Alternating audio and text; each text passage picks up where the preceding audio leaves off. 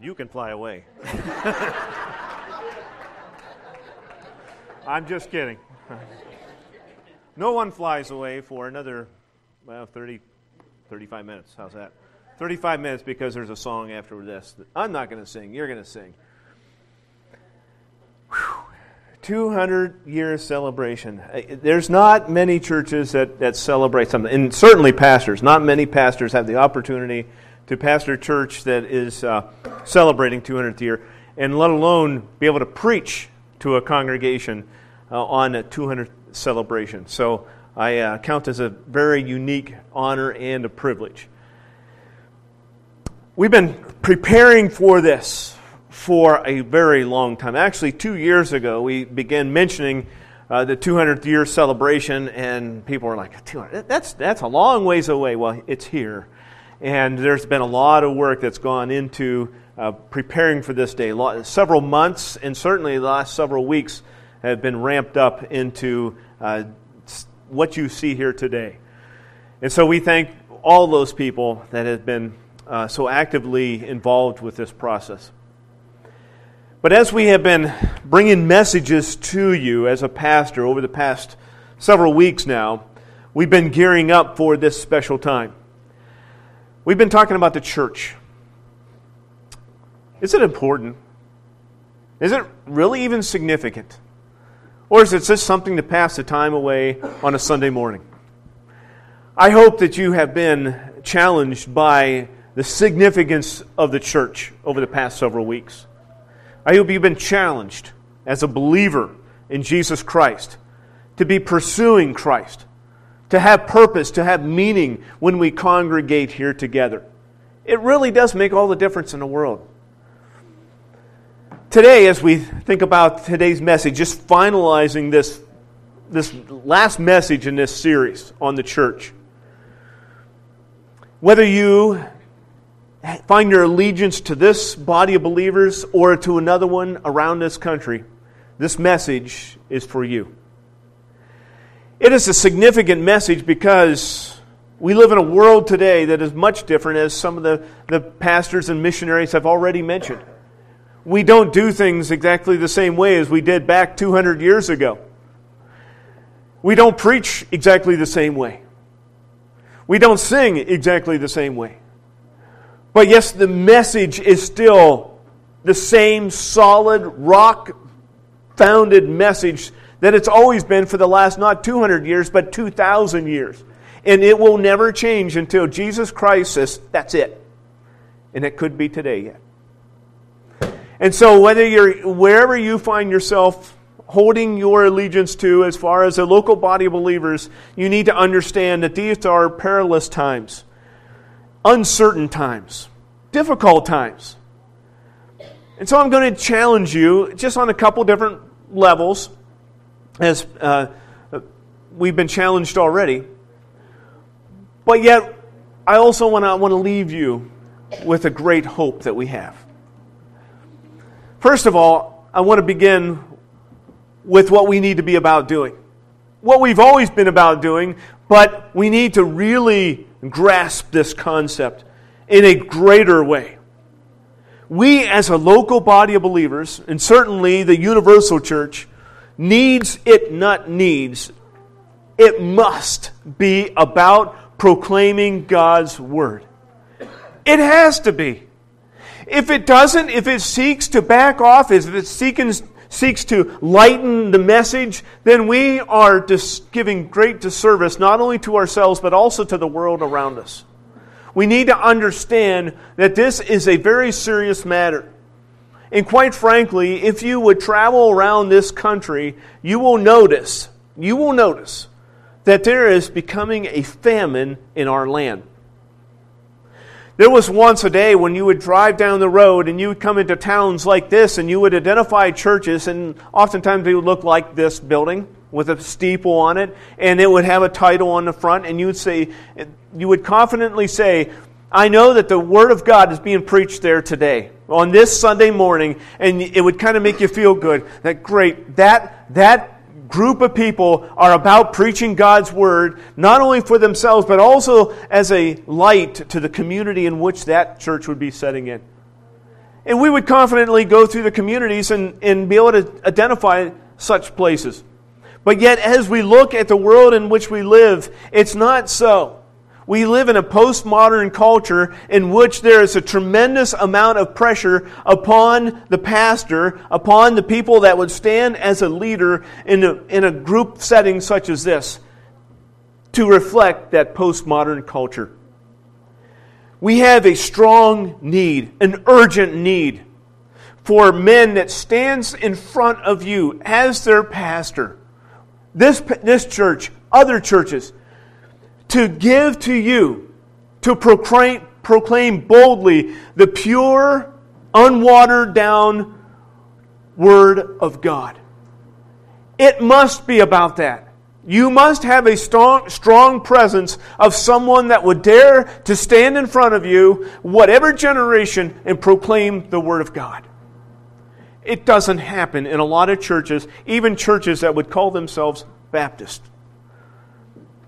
You today, on the man of God that would stand in front of congregations like this, there are threats upon his life.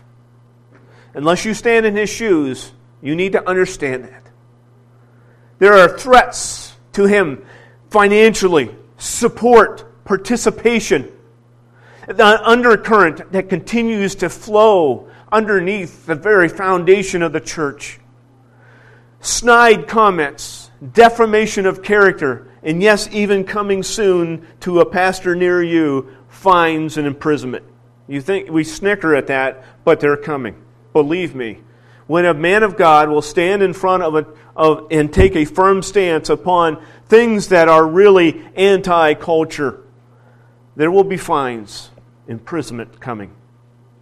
We need to understand as a group of people that the heart of man must constantly hear the Word of God, hear the voice of God and His message. Not be clouded over by the culture or by voices around them that are bearing down. You don't need another person to stand in front of you and to give you another view of the way I view this country. You can, there are a dime a dozen on the radio, on television, and they'll be more than glad to give you their opinion and what they think. But we need someone that stands in front of people giving the unadulterated Word of God. There's a famine in our land, and we must recognize that. Israel served as a great demonstration for the waywardness of people's hearts. Your heart, my heart. I want to just show to you uh, just some different time frames in which Israel very much looked like the country that we are living in, and certainly beginning to get even worse in that area. I want to show to you Ezekiel. He lived in some difficult times, some parallel, perilous times, in which the Word of God was really rather thin. In, in his audience that he was called to, preached to was rather a, a calloused audience. So turn with me, if you have your Bibles, to Ezekiel chapter 2. And if you have a chair Bible in front of you, it's on page 693. And if you're in the real cheap seats back there, we probably don't have a Bible back there, but you're just going to have to pay extra close attention. Or I can walk back there to you and read right to you. No, I won't do that today. That's a little bit of a joke, just to lighten things up a little bit. A calloused audience this man Ezekiel had a, had a very important role, and God was going, and God is speaking to him here in this second chapter of the book of Ezekiel. And let me just read to you the first seven verses. And he, God, said to me, Son of man, stand on your feet, and I will speak with you. And as he spoke to me, the Spirit entered into me and set me on my feet. And I heard him speaking to me. And he said to me, Son of man, I send to you the people of Israel to the nations of rebels who have rebelled against me. They and their fathers have transgressed against me to this very day. The descendants also are impudent and stubborn. I send you to them, and you shall say to them, Thus says the Lord God. And whether they hear or refuse to hear, they are a rebellious house. They will, they will know that a prophet has been among them and you, Son of Man, be not afraid of them, nor be afraid of their words, though briars and thorns are with you, and you sit on scorpions. Be not afraid of their words, nor be dismayed at their looks, for they are a rebellious house. And you shall speak my words to them, whether they hear or refuse to hear, they are a rebellious house. And so, as we see this audience that, that Ezekiel is given, it very much resembles a number of, of people in our world today, in the context of our nation. It's people that look on to people that proclaim the Word of God. They look and they hear things being said, but they have a sneering if they don't, you don't see it externally, certainly in their heart. It's a sneering type heart. It's a hardened people. And it's people that have a have a attitude whether they really care not to, to serve the Lord or to hear from Him and not even to obey Him. And so, why would they even have a heart that is even wanting to obey or hear the Word of God? Flip over just several more chapters to Ezekiel chapter 33. And it's getting very close to our time today. Verse 31 through 32. 30, chapter 33, verse 31 and 32. And they come to you as a people come, and they sit before you as my people, and they hear what you say, but they will not do it, for with lustful talk in their mouths they act. Their heart is set on their gain, and behold, you are to them like one who sings lustful songs with a beautiful voice and plays well on an instrument, for they hear what you say, but they will not do it. And I fear this is a growing, a growing thing that is happening in our land and in our churches. There are people that come, even though the audience even is getting smaller in our churches. They come, they come for some unknown reason and they come and they hear the words, but they won't do it. They hear the words because they, they, they want to hear them. They have a, a melodious sound to them. It, it's almost like it's, it's something that's embedded in their upbringing. I got to come to church and I got to hear that guy rattle on for 30 minutes and, and then I, I sit there and I, I kind of I hear what he's saying and it kind of has a melodious sound to it. But that's all the further that the Word of God goes. It doesn't penetrate into their heart, and they certainly don't have the ambition to change or will to change. The preacher must do very well, very, very, very well at preparing all that he can to transfer that message of God to the culture, to the community in which God has given to them, urging them, pleading them to heed God's Word. And that's what a pastor is about doing when he stands before you and he preaches. And he must be about that on constantly, not letting up. Our hearts need that because we are by nature a wayward people. We need to prepare and be ready to receive the Word of God. If I were to show you a picture such as this, what are these men prepared to do? Jump! Thank you. I knew you wouldn't be bashful. These men are, I can't think of more uh, uh, of any type of situation that a person needs to be prepared for than a parachuter. Right? I, I was trying to think of something, but I'm sure there's something else out there. But parachuter's got to be right at the top. These men are ready to jump they're, they're prepared. They've got everything ready, and they're, they're just ready for the door to open up, and they're, they are gone.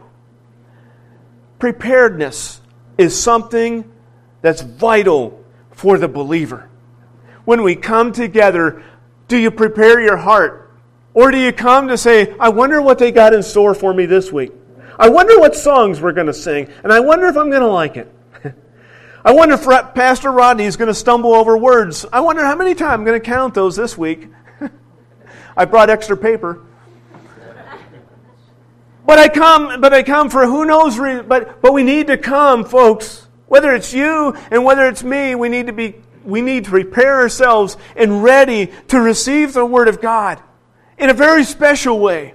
Not just hearing the words.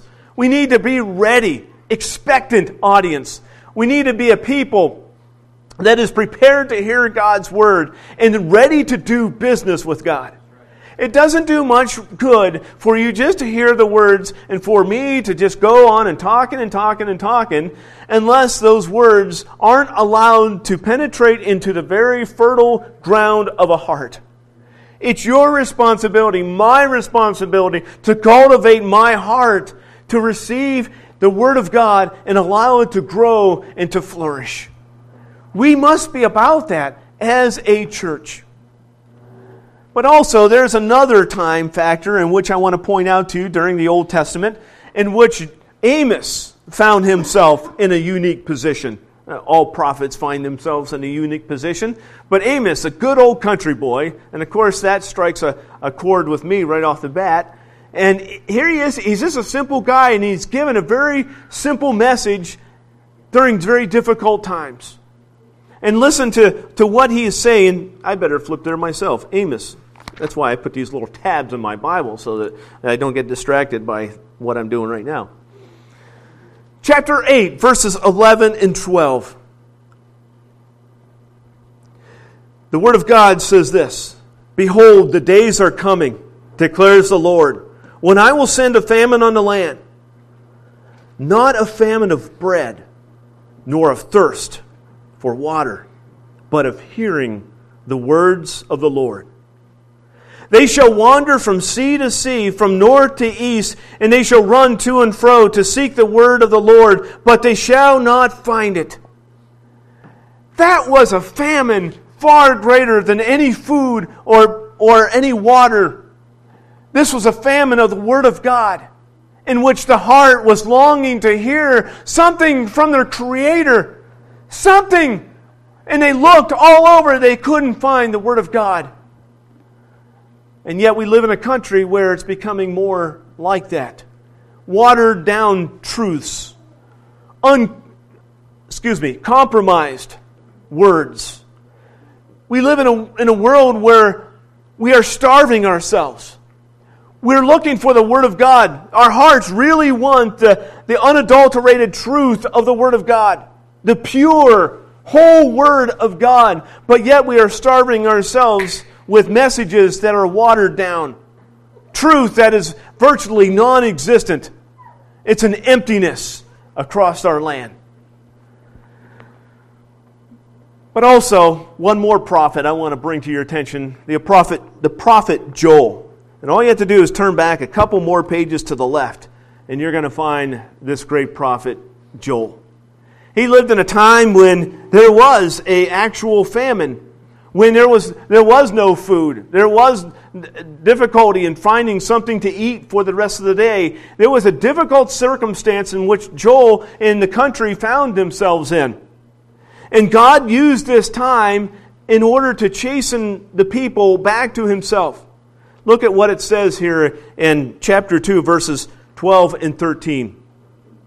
Yet even now, declares the Lord, return to me with your your heart with fasting, with weeping, and with mourning, and rend your hearts and not your garments.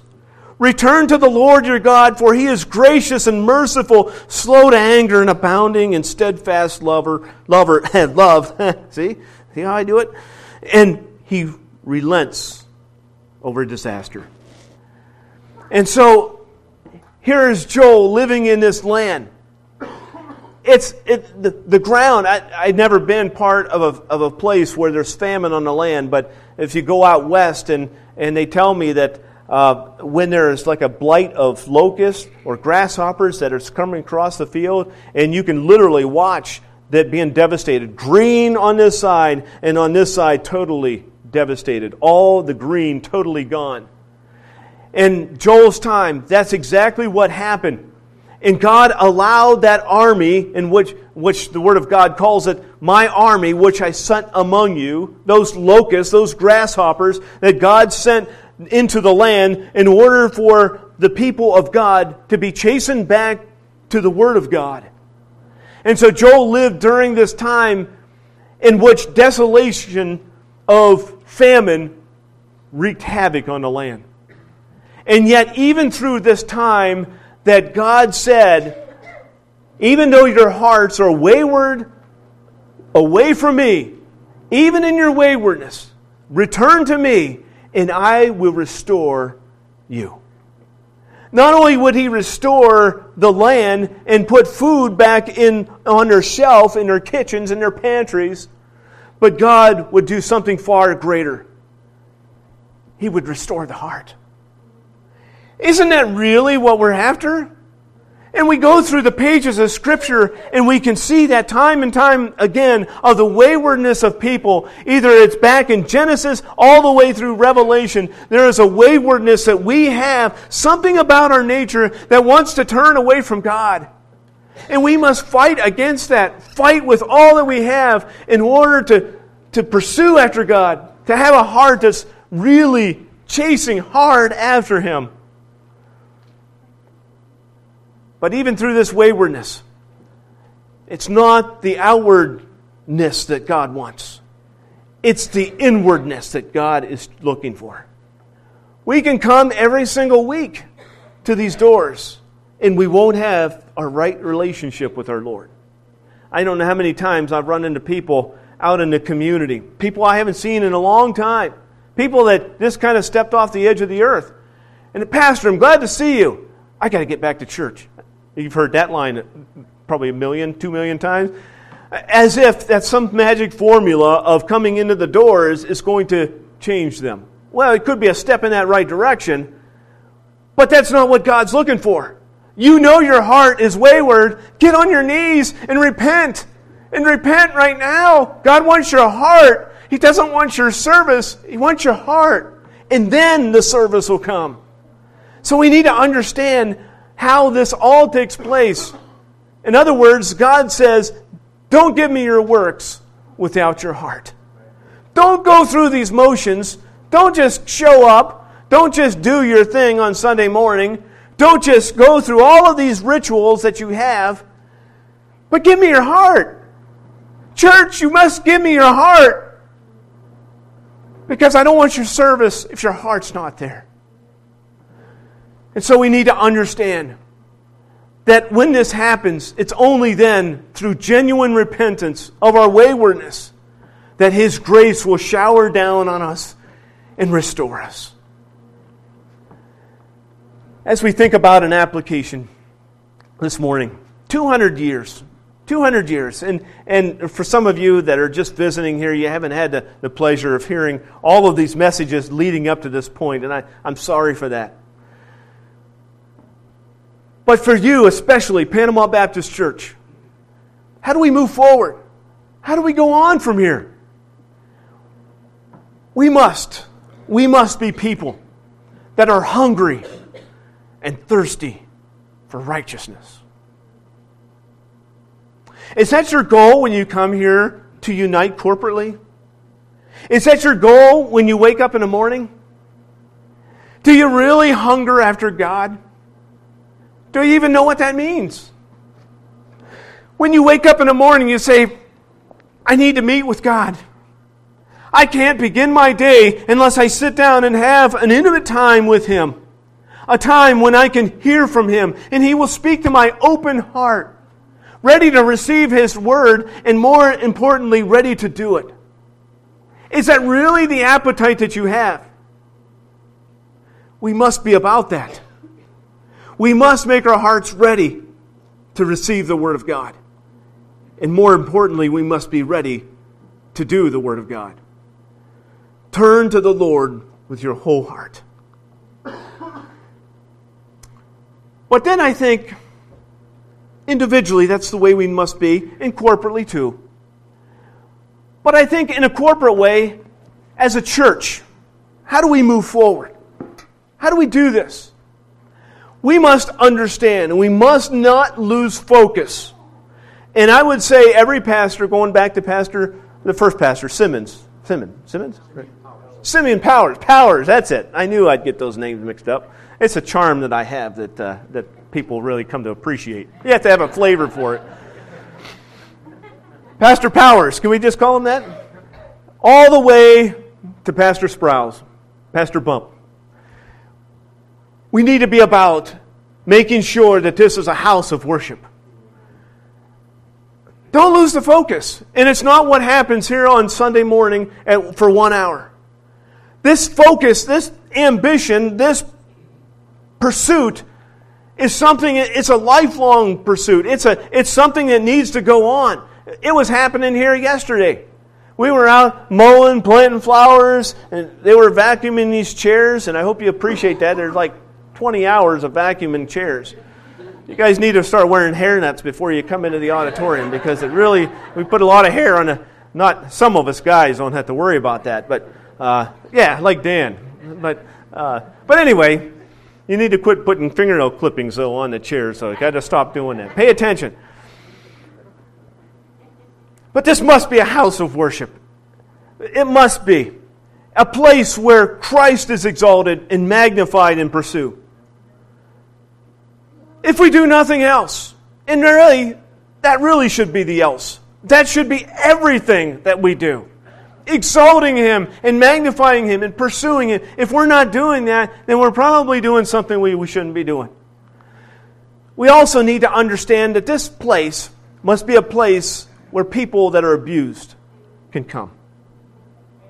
This should be a place where people are hurting can come and say, I know that I can come to that place and I won't be judged based upon my being, but they will help me to find peace and rest through my difficulties, through my problems.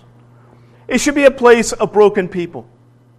It should be a refuge for those who are hurting and suffering, addicted and struggling. We shouldn't be judging them coming into the door.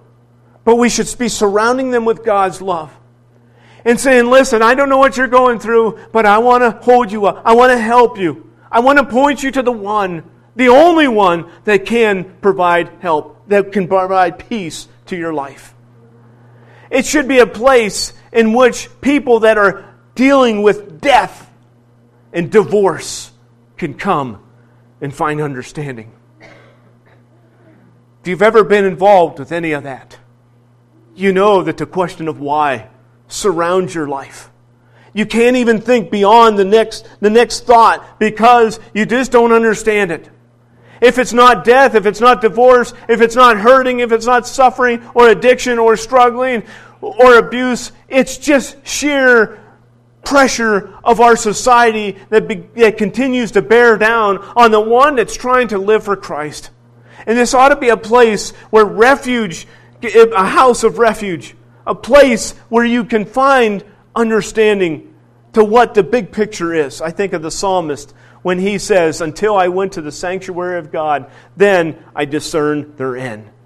That's a big picture.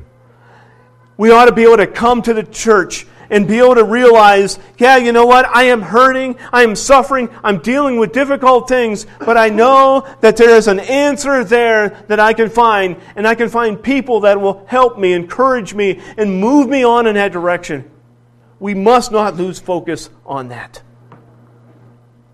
As a church, we must understand that we are salt and light to this community. God has given this church right here in Panama, New York, the responsibility to be salt and light. The church is the only beacon of light that they have. You, individually, did you know that? If it's not for you, they have no hope. Sure, they can go watch Dr. Phil on television or Oprah, and they're going to find out, they're going to get a lot of opinions, but they're not going to get the hope, the only hope and how are they going to get that hope? The only hope that they, they can get is through us. And it's only when that beacon in ourselves, when we turn to the Lord with our whole heart, that we can be that light that we need to be to this community. I appreciate your challenge to being, uh, we need to be reaching out to others, not just in our little four walls, and we have been making strides in that direction to reach into the community, showing them the love of Christ, and just meeting them where they are and meeting their needs, and to showing them and demonstrating to them that we are loving, caring people, not in and of ourselves. It's because there is something significant that happened within our hearts. It's called Christ meant us. He changed our heart. He transformed us, and He can transform your life. And they come against difficult, perilous times, and they will. And they will search for hope. They will look for hope. And they will find that beacon. They will say, Panama Baptist Church, that is a caring group of people. Look at the way that they came and handed out backpacks in our community. Look at the way that they showed loving kindness in, in different ways of the stock, helping to stock the food pantry, helping, helping to put gas in their car as they travel through and they run out of money.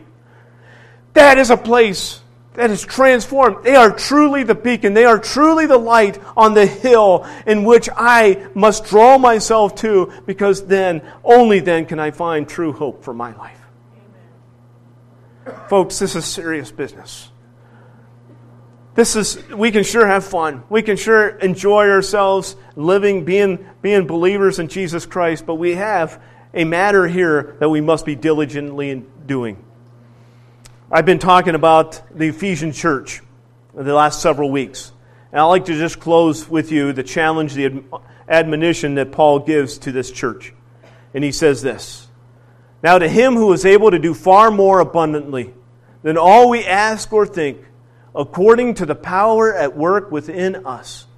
To him be the glory in the church and in Christ Jesus throughout all generations, forever and ever. Amen. Amen.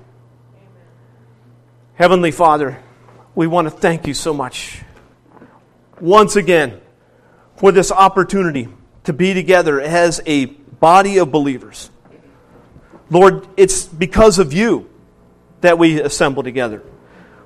We assemble because we love you. We want to exalt your name. We want to pursue you individually and corporately. And God, I pray if there's someone here that doesn't know what that means, that today, Father, that you would work in their heart.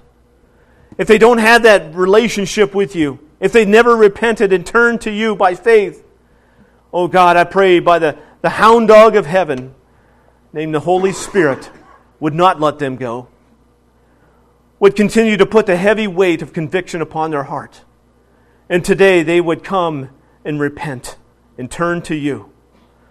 Oh God, these are desperate times, and it calls for desperate measures. And Christ is that answer. And we pray this in the great name of Jesus. Amen.